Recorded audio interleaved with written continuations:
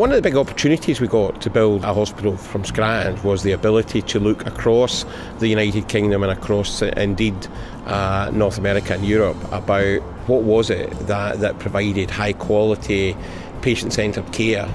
And we were able to uh, take that learning, engage with the local community, and try and bring something that reflects Glasgow and the west of Scotland uh, uh, to, to this new facility.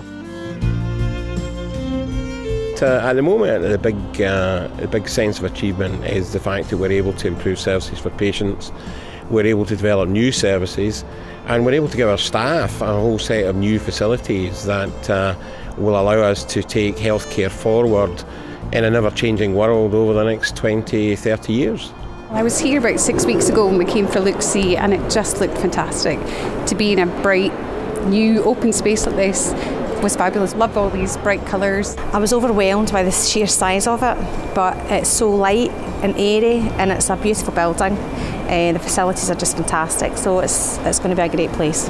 It's lovely, the design and the, the colours and that are beautiful. It's a lot better than any other hospital I've seen before, so it's really, really nice. One of the big changes that we debated going into this millennium was the separation out of ambulatory care, same day care, from unscheduled care and from complex uh, elective surgery. The new adult hospital is exactly designed around that. It's about bringing all of the specialists together so that they can interact with you in instantaneously when you arrive here, and they are supported by the facilities to meet your every need. So it has the, the biggest critical care unit in the United Kingdom.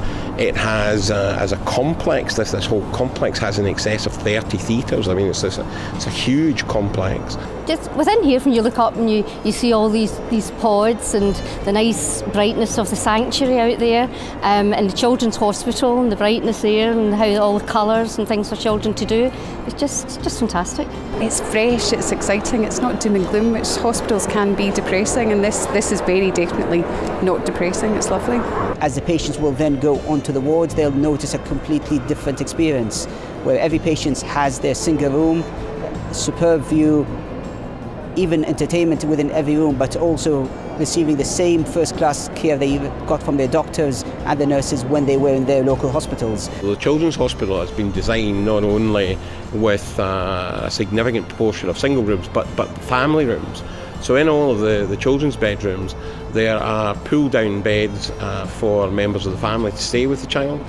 On each of the ward floors there is a family breakout area, space where you can get away from potentially the stress of your, of your child's illness and, and hopefully positive recovery uh, and get some time out, make yourself a cup of coffee, have a sandwich, watch a bit of television or just relax.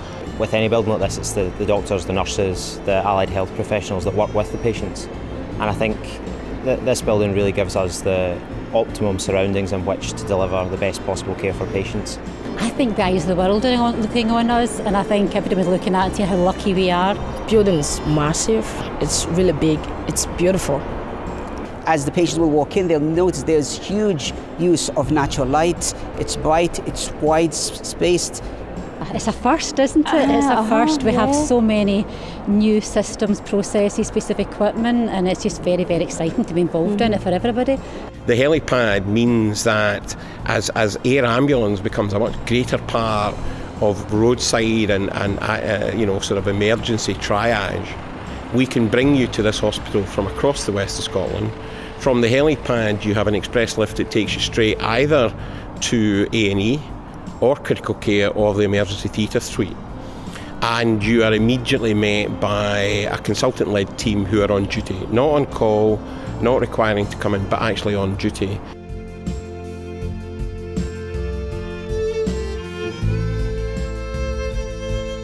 There's a whole series of corridors which are only for the staff to uh, support the hospital, be it the transfer of meals, linen, uh, TSSU um, or, or, other supplies. And then having created that environment, we were then able to take advantage of, uh, of modern technology and bring in these automated guided vehicles, the, the robots as they're referred to. I mean, these vehicles are basically small tug-like motors in appearance and they can take up to half a tonne.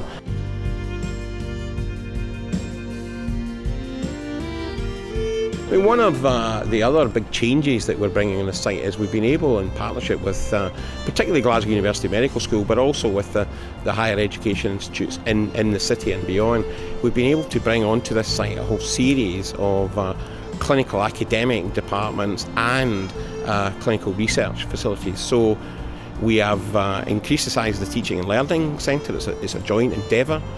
Uh, the university has built the Scottish Stratified Medicine uh, Institute on the fourth floor of that building. It's, it's one of the, the first in the United Kingdom and will be leading edge in relation to stratified medicine. We've jointly created one of the biggest clinical research facilities, certainly in Scotland. And the university have just uh, moved forward in developing a new Institute of Clinical Imaging, which will be a new building on the site which will house some of the most modern imaging technology in the United Kingdom. I think the main atrium downstairs is fantastic for patients coming in. The new technologies that we've got, we've got self check in, which gives patients a bit of independence in checking themselves in. It'll be interesting to see what the patients are saying when they're walking in, into this facility. And it's already buzzing with, with activity. The thing that I think is going to make this hospital great is just the staff and the doctors and the, the nurses and stuff inside and the nurses you deal with and the, the wards. Uh, just when I was over in the old part of the hospital, they were really helpful and nice and welcoming. So if, they're going to be the same here and it'll make it really, really good. Already we're encouraging different clinics in the eye department.